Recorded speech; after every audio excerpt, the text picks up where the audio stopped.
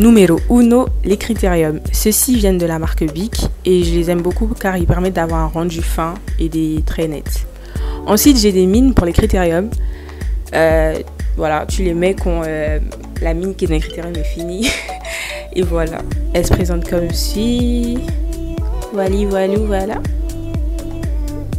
Ensuite, j'ai des stylos noirs.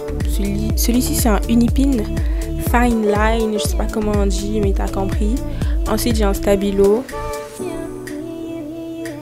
Je vous faire un petit comparatif. Voilà. Et voilà.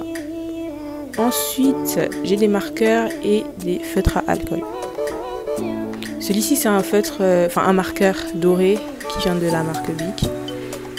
Et j'en ai un argenté qui vient aussi de la marque Bic. Ensuite, ensuite, ensuite j'ai un feutre à alcool. Ils sont un peu comme les copiques, mais voilà. J'ai oublié le nom de la marque, mais voilà. Ensuite, j'ai des estampes. Celles-ci viennent de Cultura et j'aime trop parce que euh, elles sont hyper solides et voilà quoi. C'est vraiment durable. Ensuite, j'ai des pinceaux.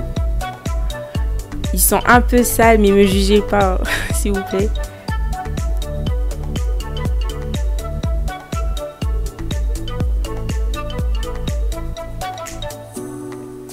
Ensuite, j'ai un pinceau en fer. J'utilise euh, pour faire des... Enfin, je sais pas. Mais j'aime bien le rendu qu'il donne. Donc, euh, Ensuite, j'ai un taille crayon bien rouge claquant, you know. Tu connais. Ensuite, j'ai une règle de 30 cm. Voilà, normal. Et ensuite, pour euh, mes dessins digital, j'utilise un stylo, enfin des stylos qui ont un petit boumou derrière.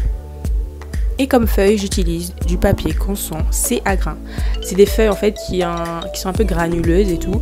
Donc euh, j'aime beaucoup, j'aime beaucoup ça. Voilà. Ensuite, j'ai une tablette graphique. Mon petit bébé. j'ai depuis 2-3 ans et franchement, elle fonctionne encore hyper bien. Donc euh, c'est top. Le stylet, il se présente comme comme ça, comme si. Bref. Et la tablette, elle est un peu rayée, hein. elle est vieille. Mais Une One by Wacom. J'aime beaucoup les produits de Wacom et je vous conseille vraiment.